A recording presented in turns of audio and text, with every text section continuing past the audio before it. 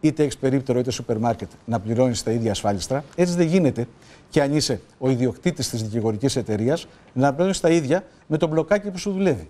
Θα πρέπει να πληρώνει κανείς ανάλογα με τα εισοδήματά του για να γίνεται δίκαιο το μοίρασμα των βαρών. Σε έναν ιδεατό κόσμο. Διότι Γιατί; ταυτόχρονα με τις εισφορέ αυξάνεται και η φορολογία και η προκαταβολή φόρου. Λοιπόν, Το ανάποδο. Ακούστε, ακούστε. Σας Εγώ ακούσω. σας λέω και πείτε μου αν είναι Θα έτσι σας από ακούσω. το Δικηγορικό Σύλλογο. Δικηγόρος που είναι με δραστηριότητα το πολύ 5 Η ετών. προκαταβολή φόρου δεν αυξάνεται απλώς. Είναι το 100%, πλέον. Ακριβώς. Πληρώνεις διπλό φόρο. Ακούστε, εδώ, διπλό. ακούστε παράδειγμα. Δικηγόρος μέχρι 5 χρόνια δραστηριότητα. Έχετε τελειώσει τη νομική.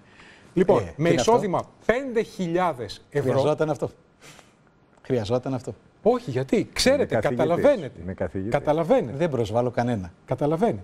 Δεν προσβάλλω κανένα. Λοιπόν, και εγώ το ίδιο. Ε, όχι. 5.000